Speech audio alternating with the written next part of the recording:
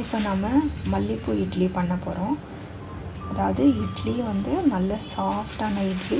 எப்படி பண்ணுறதுன்னு நான் சொல்கிறேன் இது வந்து மிக்சிலேயே அரைச்சா கூட நல்ல சாஃப்டாக இட்லி வரும். இதுக்கு தேவையான பொருட்களை பார்க்கலாம். பச்சரிசி ஒன்றரை கப் புழுங்கரிசி அரை கப் அரிசி வந்து ரெண்டும் சேர்த்து ரெண்டு கப் தான் வரணும். ஒரு கப் திக்கு அவல். அதாவது இது வந்து கெட்டி அவல். திக்காக இருக்கும். கால் கப் உளுந்து. இல்லைன்னா ஒரு மூணு டேபிள் ஸ்பூன் எடுத்துக்கோங்க. அரை ஸ்பூன் வெந்தயம்.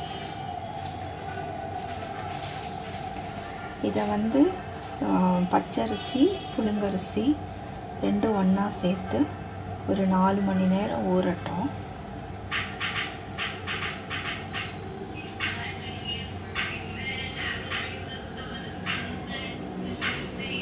உளுந்தும் வெந்தயமும் தனியாக ஊற வச்சுக்கோங்க. ஒரு ஆஃப் அன் ஹவர் முன்னாடி அவல் வந்து தண்ணியில் நல்லா கழுவிட்டு ஊற வச்சுக்கோங்க.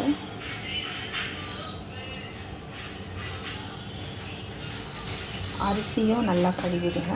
உளுந்தும் நல்லா கழுவி ஊற வச்சுருங்க. அரைக்கும் போது உளுந்து தண்ணியை வேஸ்ட் பண்ணாதீங்க. ஏன்னா ஏற்கனவே நம்ம கழுவி வச்சுருக்கோம். அதனால் அந்த ஊறின தண்ணியை வேஸ்ட் பண்ணாதீங்க.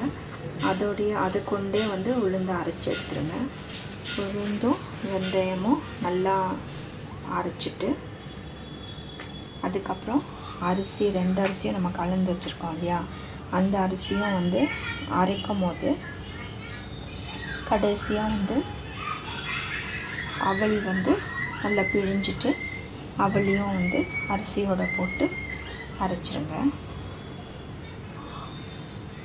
இப்போ நம்ம வந்து அரைச்ச மாவு பார்க்கலாம். இது நேற்று அரைச்ச மாவு. நல்லா எவ்வளோ வெள்ளையாக இருக்குது பாருங்கள் அவல் போடுறதுனால நமக்கு வந்து நல்லா ஒயிட்டாக இருக்கும். இட்லி கூட நல்ல வெள்ளையாக வரும். இந்த திக்னஸ்க்கு நீங்கள் கரைச்சி வச்சுக்கோங்க. இது நேற்றே வந்து நம்ம வந்து த தண்ணி ஆட் பண்ணுறது எல்லாமே வந்து நேற்றே முடிச்சிடணும்.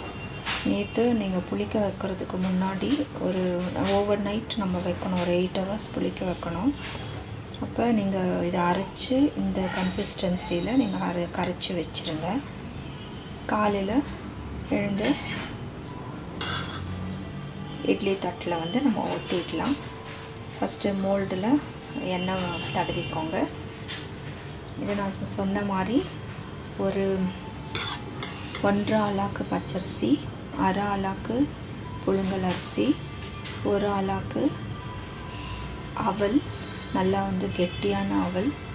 இதை வந்து நம்ம உளுந்து வெந்தயம் உளுந்து வந்து கால் கப்பு இல்லை மூணு டேபிள் ஸ்பூன். வெந்தயம் ஒரு அரை டீஸ்பூன். வெந்தயத்தையும் உளுந்தையும் ஒன்றா ஊற வச்சுட்டு ஊற வச்சு அரைக்கணும். அந்த உளுந்து தண்ணி வேஸ்ட் பண்ணாமல் உளுந்து தண்ணியிலேயே அரைக்கணும். அரைச்சிட்டு அரிசி வந்து ரெண்டு அரிசியும் கலந்து ஊற வச்சிடணும். அந்த ரெண்டு அரிசியும் வந்து நம்ம அரைக்கும் போது நம்ம அரை அரைச்சி முடிக்கும் போது இதையும் அவலையும் போட்டு நம்ம என்ன கன்சிஸ்டன்சிக்கு என்ன என்ன இட்லி பதம் வேணுமோ அதுக்கு வந்து அரைச்சி கரைச்சி வச்சுருங்க. வச்சுட்டு காலையில் வந்து எயிட் ஹவர்ஸ் குளிக்க வைங்க. வச்சுட்டு காலையில் இட்லி ஊற்றி எடுக்கலாம். இப்படி மோல்டில் நம்ம ஊற்றிக்கலாம் ஊற்றி இப்போ வந்து நம்ம ஸ்டீமில் வேக வச்சுக்கலாம். இட்லி நல்லா சாஃப்ட் இட்லி நல்லா வந்துருச்சு. இங்கே பாருங்கள் நல்லா கலர் கூட வந்து நல்லா வெள்ளையாக இருக்குது இது கொஞ்ச நேரம் ஆறட்டும். ஆறின பின்னாடி எடுக்கலாம்.